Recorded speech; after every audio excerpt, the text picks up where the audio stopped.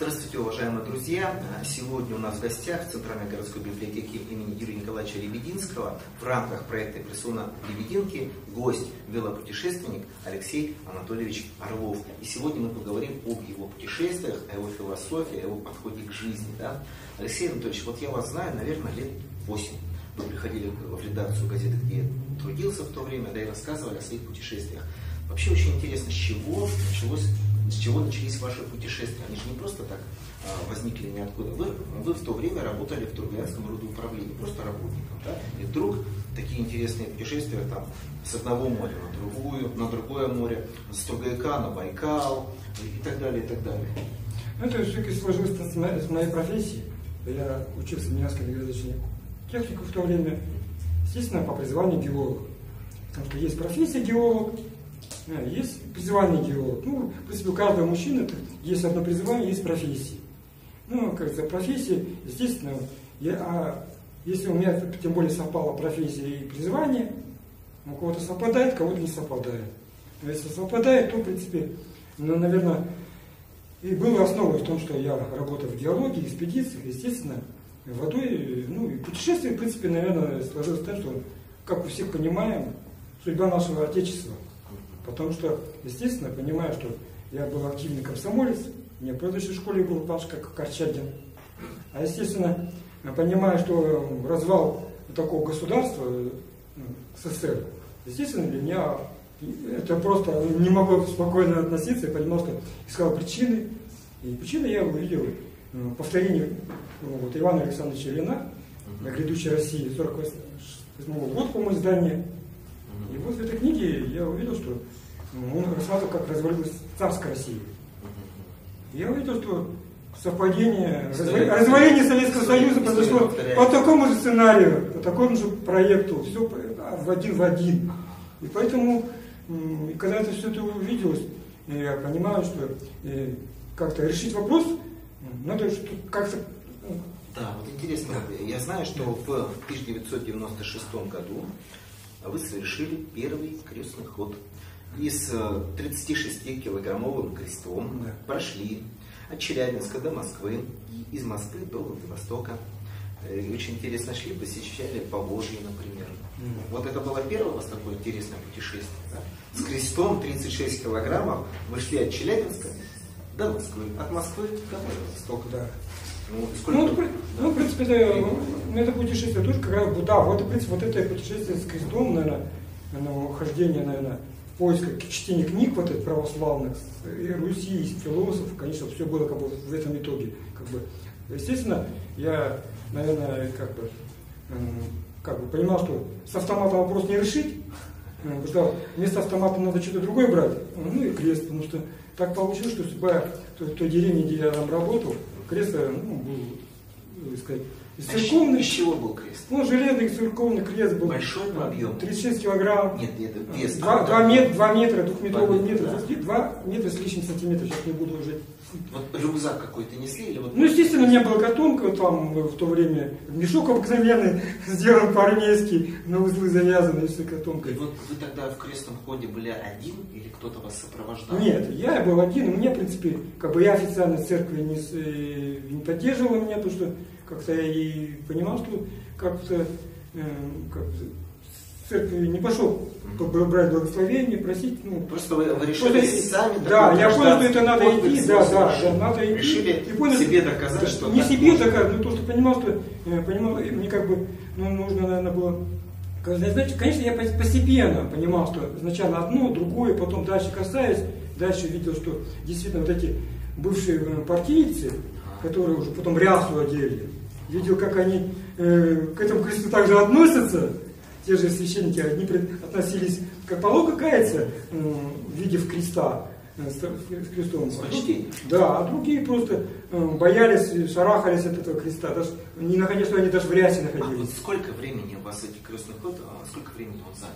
Ну, занял у меня, конечно, скажу, ну, грубо говоря, наверное, ну, с осени и до лета. Ну, тоже, в принципе... Я, 9 я, месяцев. Ну, да? гру, грубо говоря, спереди... Ночевали где тогда? Ну, Вспомните ну, то время. В то время Сложно на вокзалах, в церкви, церкви, церквях, где только, ну, где люди приглашали. всяко по-разному было. А знаете, почему я спросил? Вот у нас есть такой человек, Виктор Павлович Шестаков. Он тоже путешественник. И как-то у него, я работал в Сургуте, в телекомпании «Север» Сургутского района, он ко мне как-то в гости пришел. Я говорю, Виктор Павлович, а где вы ночевали вот, прошедшей ночью? Он сказал, да я вот автостопом шел, но что-то ни, никого не было. Я, говорит, зима, я, говорит, под елкой, под трассой, зарылся под елку и так, говорит, под елкой переночевал. Вообще, вот как это быт? Ну, это тоже, вот такой, мне тоже такое бывало не раз. Вот он походный быт, велосипед, сломаться может, проколоться шины могут, еще что-то попасть в какую-то, не дай бог, аварию, да, и, значит, ничего нету, дождь идет, да, зима или не зима, холодно, вы где-то в тайге, вот как это? В принципе, да. для геолога это привычно, что мы, работающие в полевых партиях, для нас это было как бы, ну, стандартно.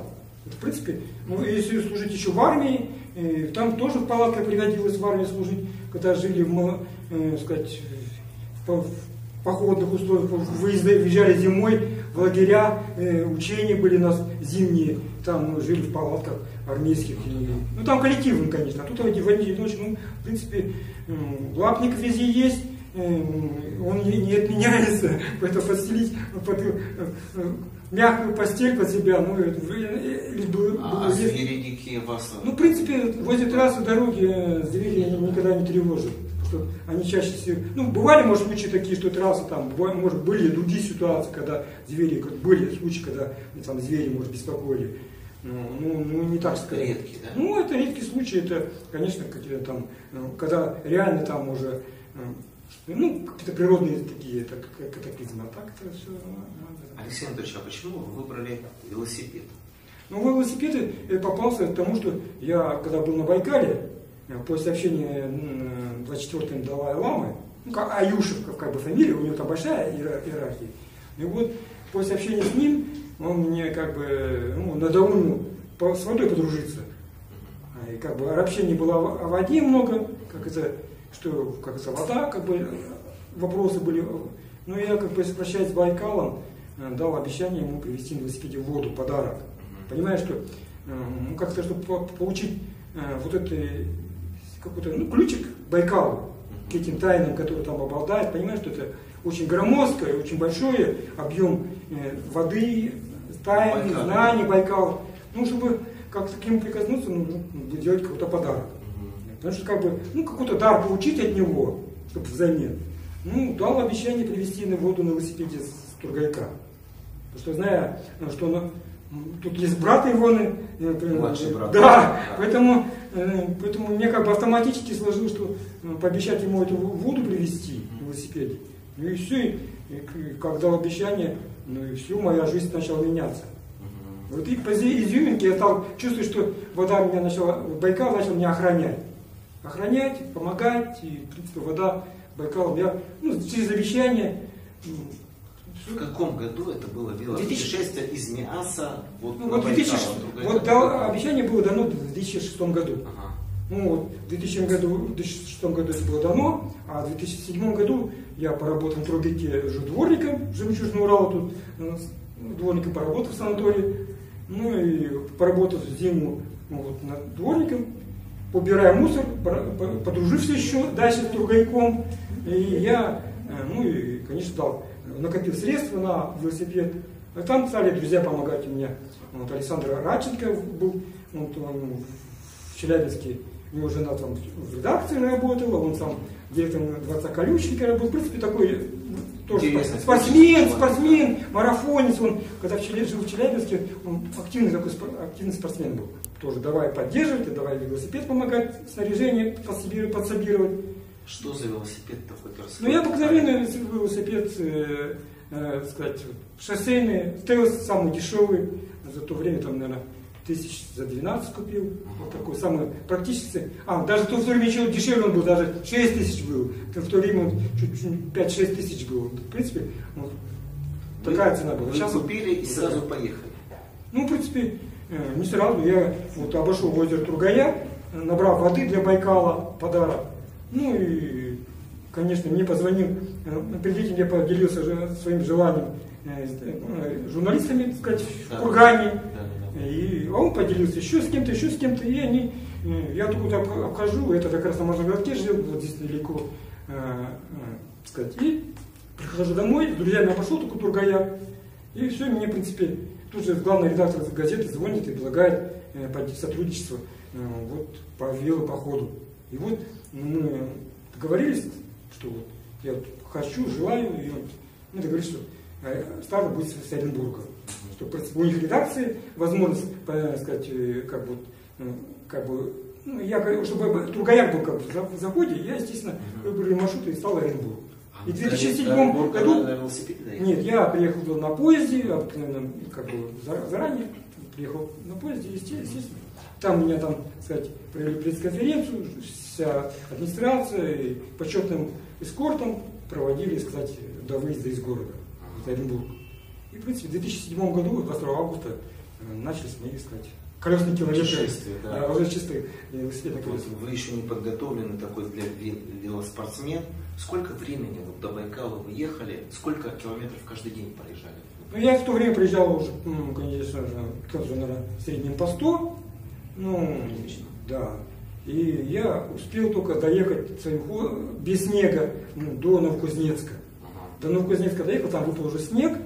И, и, по-моему, даже до 7 ноября, возле ноябрьских праздников был уже снег выпал. И я уже э, до Междуреченска э, там доехал, там как бы пообщался с туристами э, базы.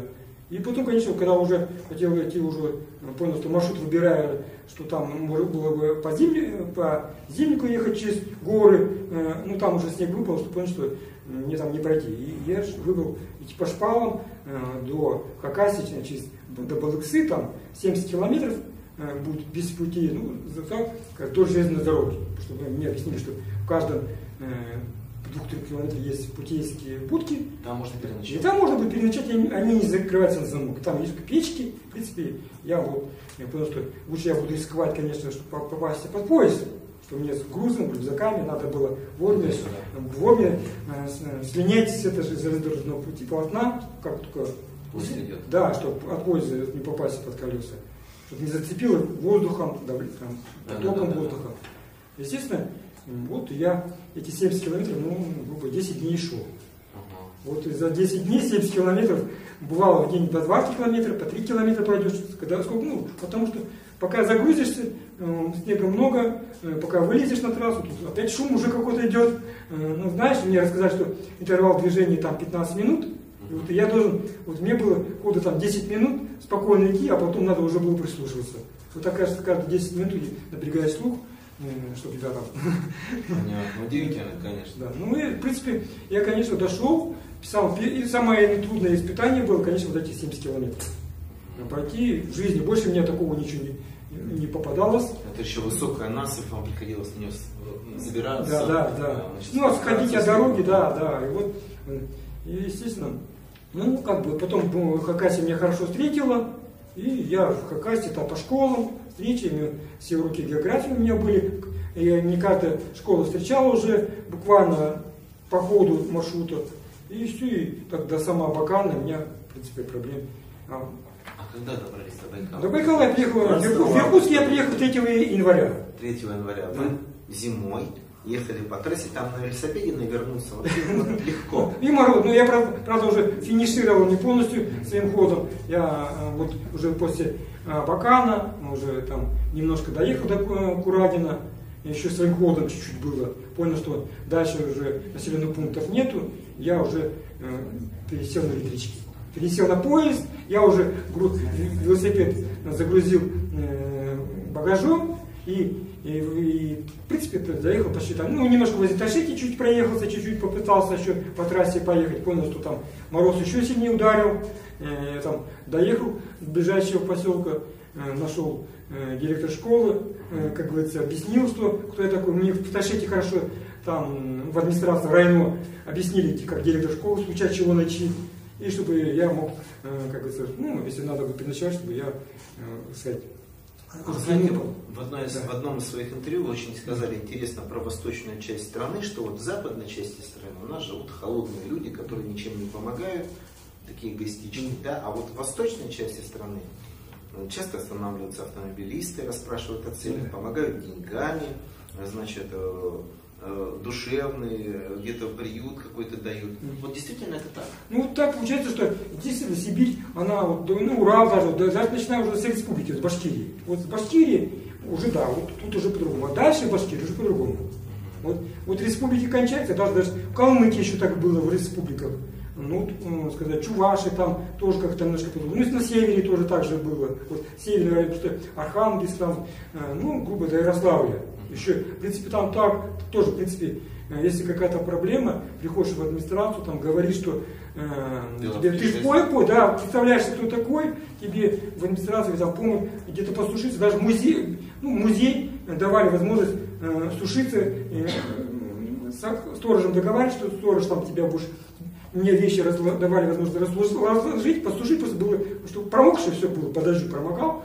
Естественно, там было свободно, можно вечером, когда все закрывалось, тебе вещи разложить, высушить, утром собрать, ну, пускали на ночь вот так вот вещи просушивать. Ну, думаю, в других местах такой бы, там даже э, боятся, вот был в Новороссийске примерно, вот, приезжал, там велосипедисты меня встречали, встречу организовывали, ну, пришлось вечером ночевать на вокзале. Вот так, ну, в принципе, ну, уже люди вроде тебя знают, заранее приглашают, зовут встречу, организуют, но в итоге идешь ночевать куда деваться, потому что за город э, пытался выйти, чтобы где-то палатку поставить. Ну, там горы, там с грузом ну, перейти, ну, тяжело. И ночью, тем более после э, приезда, куда, где искать э, город, не знаешь.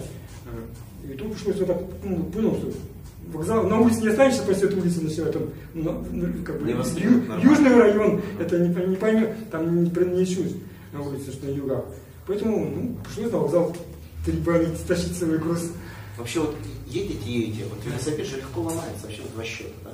Вот вы уже знаете, вы, наверное, как в потемках починить. Ну, что, вот, откройте секрет, вот тоже едут у нас велосипедисты, 100 километров проехал, сломался, колесо проткнули. Как вы с этим управляетесь? Ну, как бы забыл, везешь запчасти, инструмент нужно, необходимый, что в принципе, ремонт всегда, ну, как бы видишь, что и под, под, под, подломать. Ну, бывают неожиданные поломки.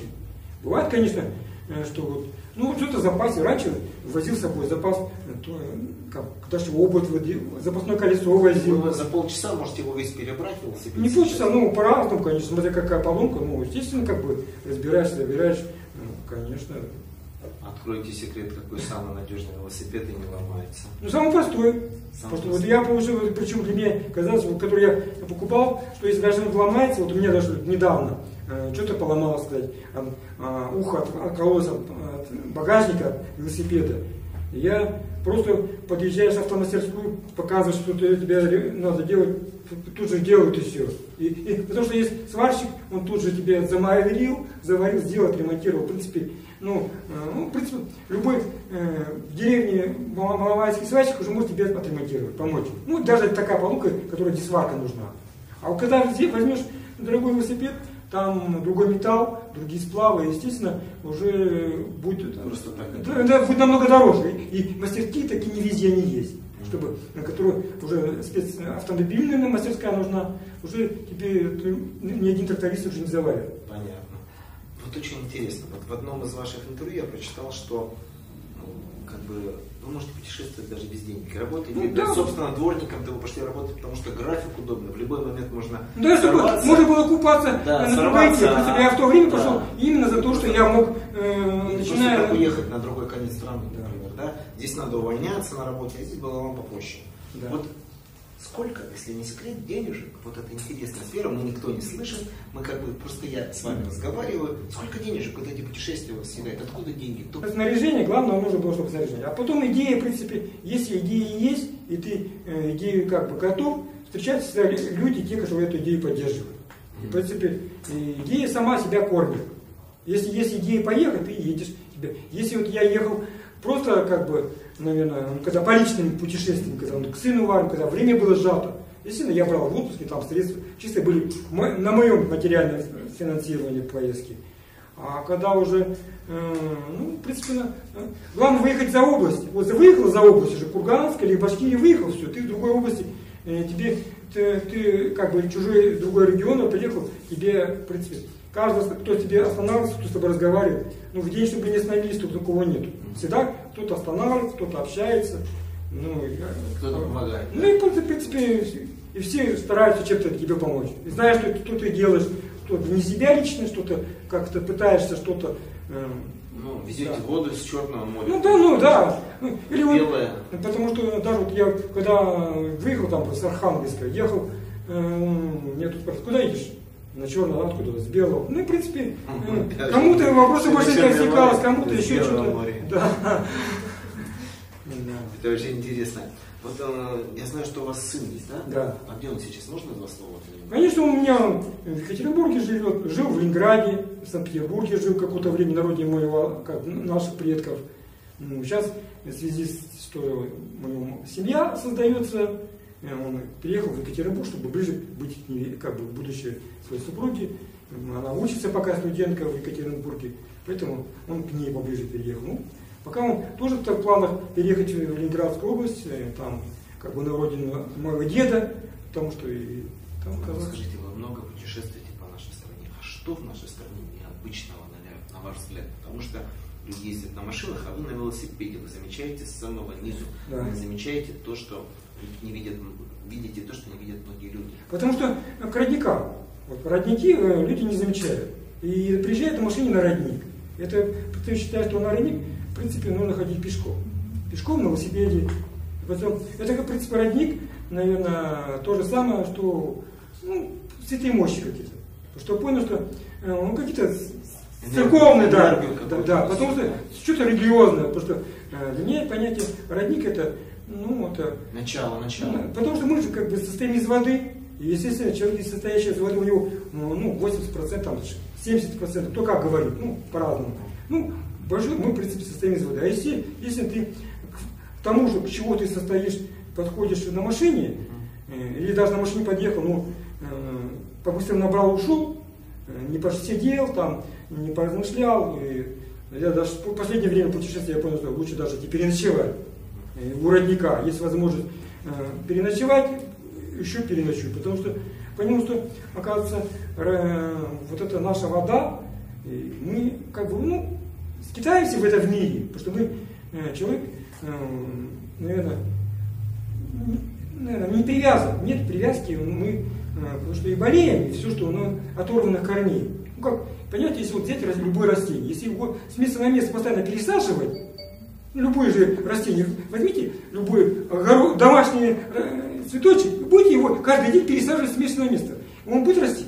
Нет конечно. Вот. Так и мы, мы же люди тоже постоянно куда-то перемещаемся. То в один место, то в другой город, то в третий город.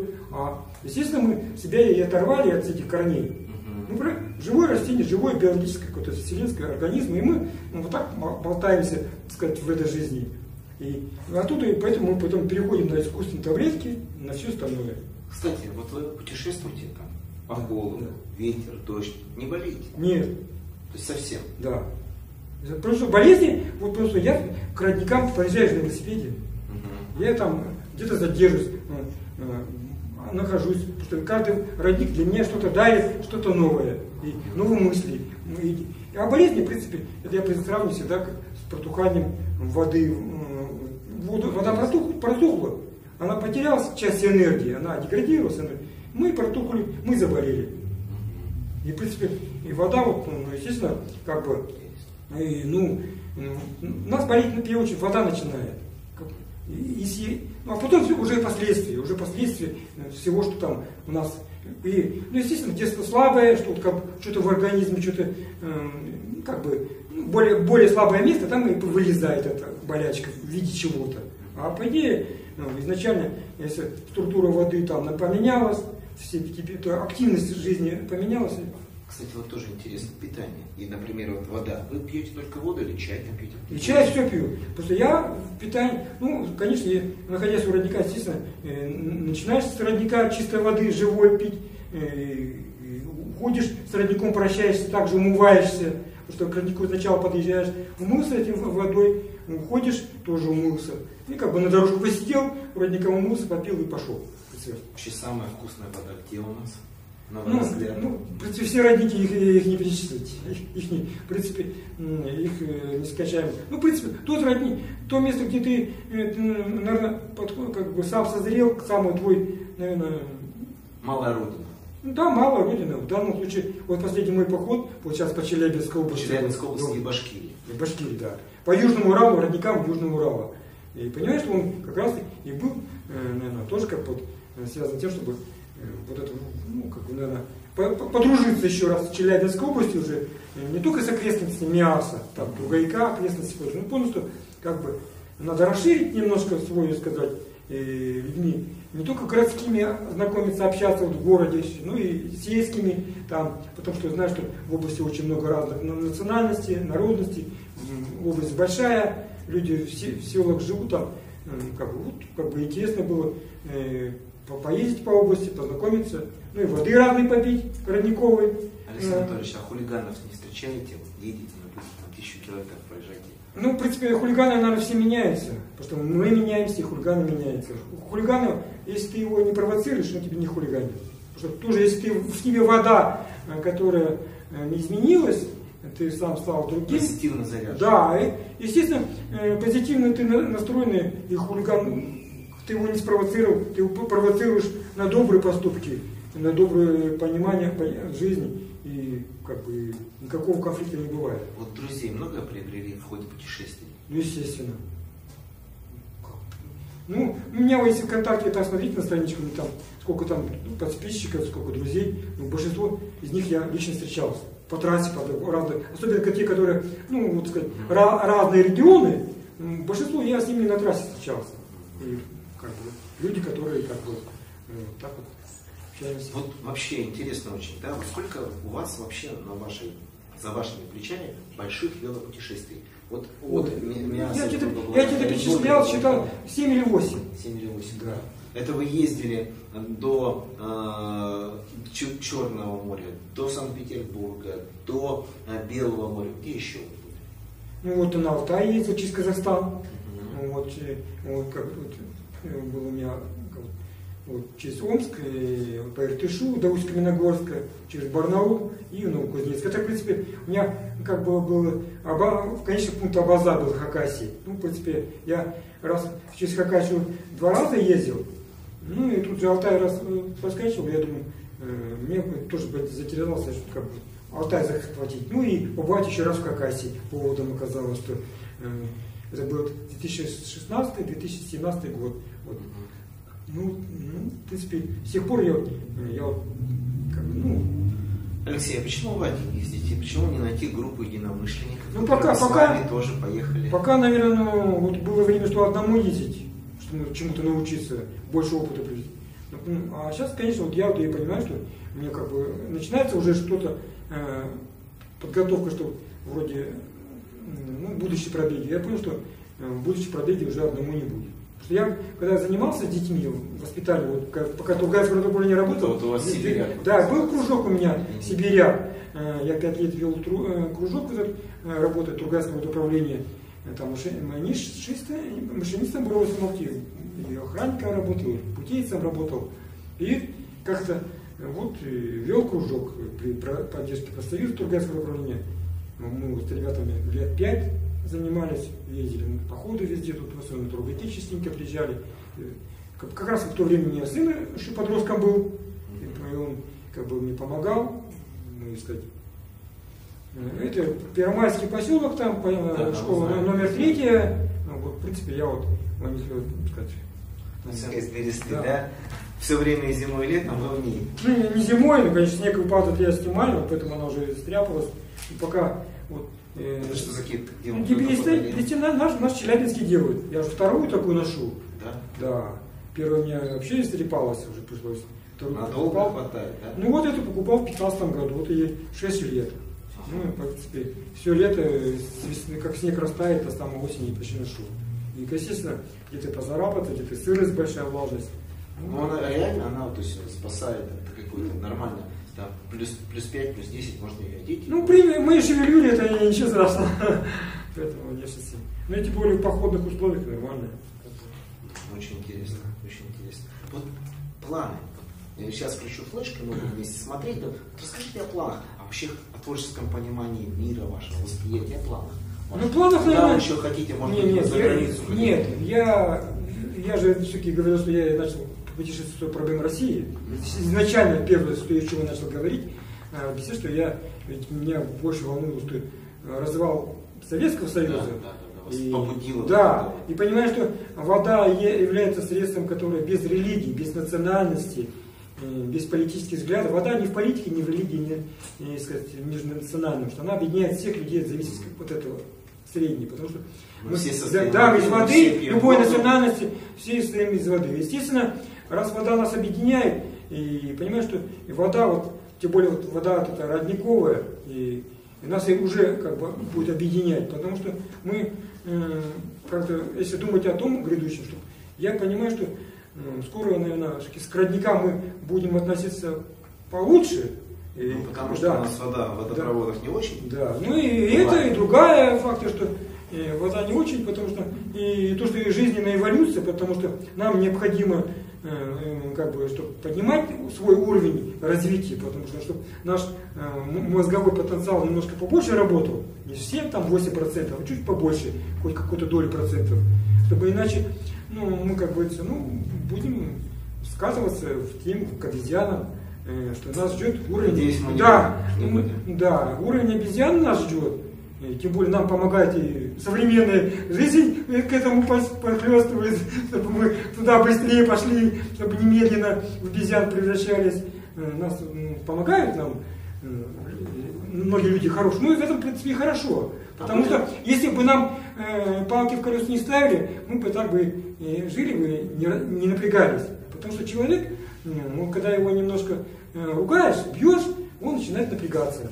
Пока нас не бьют, не ругают, э, не гоняют, мы не напрягаемся.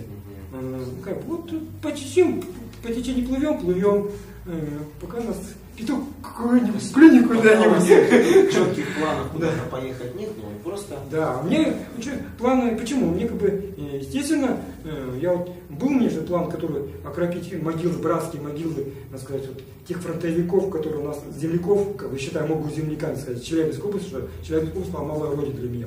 Как бы. Естественно, земляки воевали, э, жизнь свою отдали, э, ну и окропить эти могилы водой, водой которая наш, конечно, это было бы, наверное, для, в принципе, нас бы, наверное, мобилизовало, нас бы молодежь немножко бы перевоспитала, чтобы мы ну, к своей родине по-другому начали бы относиться.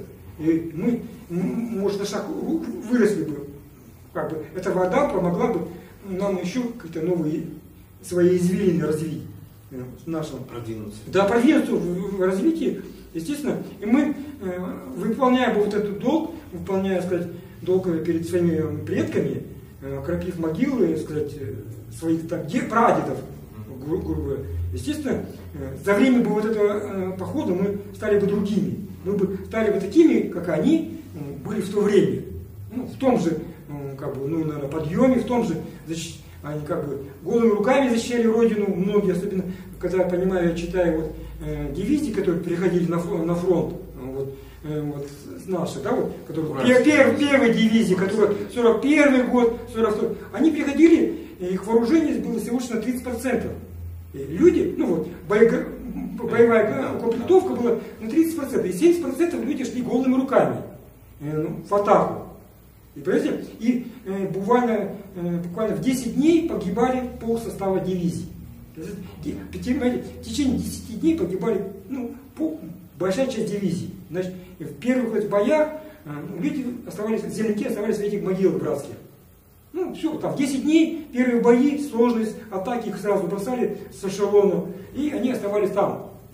Как, все. Вот получается, э, естественно... Ну, мясорубка была. Да, такая, да.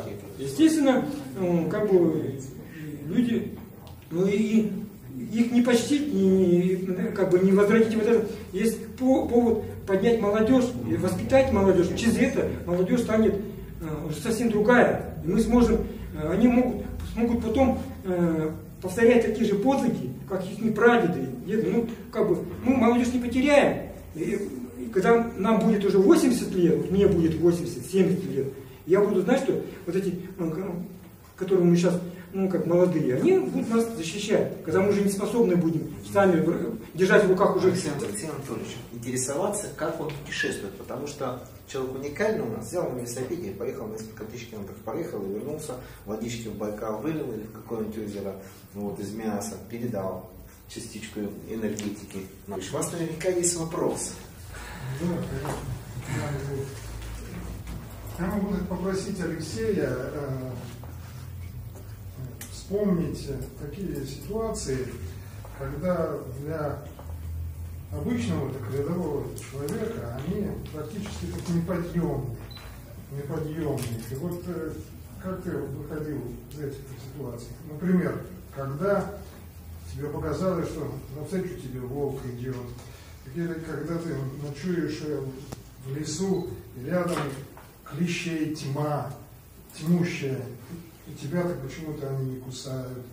Так, или вот э, э, когда ты чувствуешь, что на улице температура, которой можно заболеть, но ты абсолютно избегаешь вот этих моментов. Каким образом удается ну, это образ надо себе мысли настроить, потому что когда ты настроен позитивной мысли, вот э, все, и, и ту же воду же я же потребляю, да, естественно, э, наше мышление меняется, наша энергетика, наверное, поле меняется.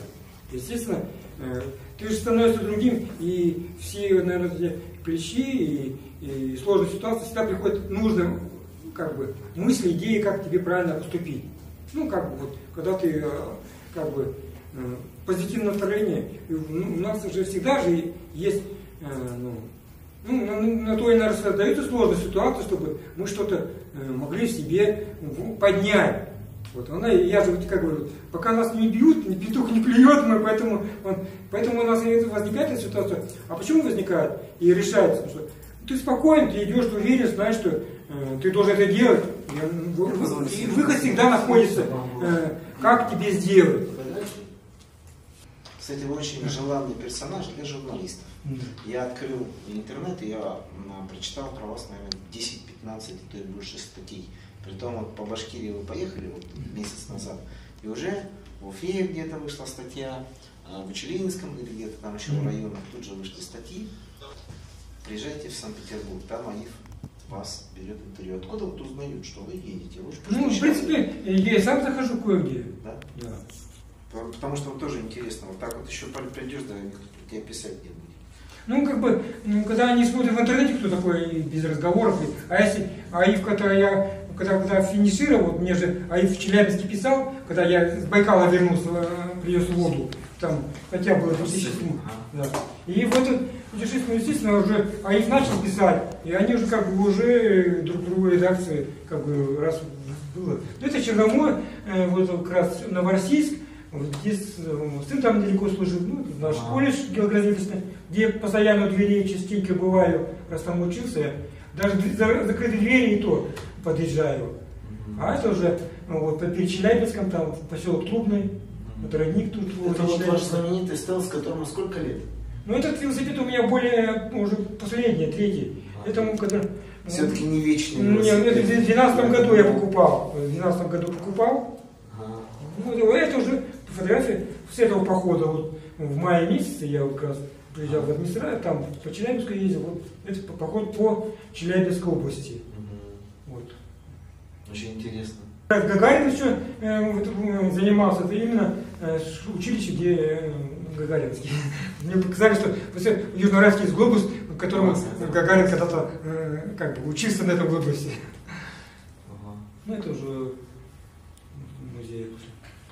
Вопрос какой Да, вот интересно, вот поменять, вот как, как легко, вот, вот советы людям едет, вот Владимир, например, едет на велосипеде, лопается не лопат, а ну, камера, что делать? Ну, самое простое, э, чтобы она не область, э, надо туда шубу постелить. Старую э, взять камеру, уже по постелить между покрышкой и камерой. Ну, это мне еще кал, кал, э, калмыки подсказали. Там степи и э, ключи много, да. колючки очень большая. Естественно, чтобы колючки тебе э, камеры не колол, нет, скажут, возьми старую. Ребятишки даже подсказали там калмыки. И я всю покрышку по камеру положу, в принципе, я вот в этом году проездил, ни с одним, ни одного было. Как забрал э, три камеры запаски, так и ни разу их не поставил. В принципе, все, в принципе, э, я вот все лето ездил, без есть мы ездим, пробиваем колеса, а здесь надо всего проложить камеру. еще. Да, надо положить э, камеру и все. Ну и бывают проколы редкие, но бывает э, они, ну когда что-нибудь там, э, как говорится, реально уже что-то прозеваешь, уже наскочишь. А так, ну, вот в основном походы, когда езжу, с детьми встречаюсь, встречи в разных, так сказать, в школах, так вот в некоторых районах организовывали, прямо в А сколько вот у вас поклажа висит на вашем велосипеде? Ну, килограмм 50, наверное. Килограмм 50. Да, и велосипед можете еще. ходить, Тем более в гору где-то. Ну, где-то гору пешком приходится идти. Вот так что вот музей наш в Челябинской области. Челябинской области. Да. Килограмм 50. И что у вас там, ро- родники, что вы без собой? Ну, я там везу уже весь запас, я же как бы рассчитываю на, на автономную, Ага. поэтому у меня и теплые вещи, и ремонт, и какие-то чистые одежды. Что палатка у вас, вы И пал- расскажите. Вот. Ну, палатку э, большая, ну, я двухместную пал- палатку возил, сейчас даже э, трехместную взял, поехал, последний поход, в трехместку поехал. Ну, э, как бы, зато э, велосипед уже под крышей, э, газовая горелка тоже по внутри. есть комфортно. Да, я уже я в последнее путешествие ездил уже комфортно, потому что у меня ни ветер не дует, ничего, я э, горелку поставил газовую в тамбуре, и мне не дует, и не задувает ветер хоть сильно, ну все, я э, проблем нету, как, как горелку, чтобы ветер не задувал горелку. Это очень интересно. Ну, вот такие родники вот. А вот только по асфальтовым дорогам или вы путешествуете? Ну, всякого и полевые дороги приходилось, то, что вот сейчас заезжаешь на родники, вот, срезал немножко кое-где полевыми дорогами. Естественно, вот, по Челябинской области ездил, бывало, что полевыми дорогами ездил. Что, Ну, полевыми я понял, что получается даже дольше. С моим грузом завязаешь э, то песок, то еще что-то там э, бывает. И я по- сколько раза два ездил полевыми дорогами и жалел, что езжу. Поверил, что там прямая дорога, а в итоге еще больше времени А, тратишь. знаете, вот ваша палатка. Да, вот он, последний Ну, это, это шикарная палатка. Это там она чуть ли не четырехместная. Ты не трехместный большой там. Трехместная большая. Вот это на, э, на Уралях, вот, э, на фоне города Миаса, исток Миаса, где у нас, кажется, самого там внизу э, уже ре- река Миас начинается. Это вот на Красной площади. Кстати, вот вы приехали на велосипед на Красной площади в сапогах берца. Вам никто ничего не говорит о милиции? Не, мне даже эти знаки убрали. В принципе, э, так-то висит знак, вот кто приезжает в Москву, там висят знаки, что с сумками, там турники, турники, если как на вокзал, и через это проходить нельзя. Ну, перед моим походом все убрали. Ага. И это, в принципе, один раз было, что я в другой год приезжаю, э, тоже вроде в этот день, 4 ноября, все на знак уже нельзя Полиция было. вами не интересуется? Ну как? площади? Ну, в то время не было. Вот тогда, когда, э, ну, в принципе, э, один раз в 2012 году, первый раз, когда был на Красной площади, тогда подходили и спрашивали, и тут даже не меня, а фамилию спрашивали. Ничего себе, сколько вас поклажет-то? Да. Ого. Э, вот, допустим, велосипед бе- бедный везет 50 килограммов груза, и вас, например, 60, 110 килограммов. Ну, вот поэтому мне багажник вот в последнем походе уже не потому что полевые дороги, багажник немножко меня ломался. А так-то ну, наш музей, наш музей, да? географический Да, колледж, да. техникум. Да, да, да, да, да, да. Вот, это Бреды, э, музей э, района, Брединского района. Ну. Ну, это вот тоже, тоже это Вуйский тут уже фотографии. Можно такой некорректный вопрос, мы не снимаем, просто интересно. Вот раньше я смотрел у вас фотографии старые, вы без бороды. Ну, тогда еще не, не отросла, не, не отрастала, вот да, Потому что у нас на Руси, например, в 18 Мгм. веке, в 19 считалось, что вот мужчины должны были все быть с бородой. Это ладно, Петр Первый там что-то начинал, но вообще вот раньше считалось 17 век, а, что вот, а, люди были с бородой. Это вот когда есть, вот говорят, что лучше ощущения. Ну, это еще лучше волосы, потому что зря у индейцев, э, когда вот им начали волосы стричь, когда вот пришли американцы, англи- англичане пришли в, э, в Северную Америку, начали волосы стричь. И, э, и те индейцы, которые там имели, обладали, вот как нам показывают фильмы, да, все эти качества не потеряли. Просто постричьте волосы. Потому что волос, и вот это уже ощущение природы теряется.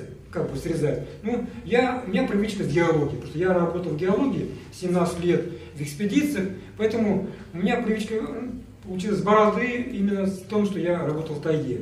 Что от мошки, и ну, привык, волосы я на голове еще немножко постригаю, когда вот полностью социум возвращаюсь, уже на работу устраиваюсь, а э, бороду, в принципе, как-то уже ношу, ну, не то что привычки, как-то обыкновенно, нормально. Это, это я новороссийский, когда приезжал э, к сыну в часть, встречи, вот э, замполит бригады меня встречу все организовывает, тоже политзанятия проводил э, на военной базе, и прямо туда запускали, ну, все это организовывали, кстати. Мы, ну, это уже Мамаев курган был. Волгоград. Да, Волгоград. На этом, дорогие друзья, мы завершаем нашу встречу. А всем напоминаю, что у нас в гостях в Центральной городской библиотеке имени Юрия Николаевича Лебединского был велопутешественник Алексей Орлов.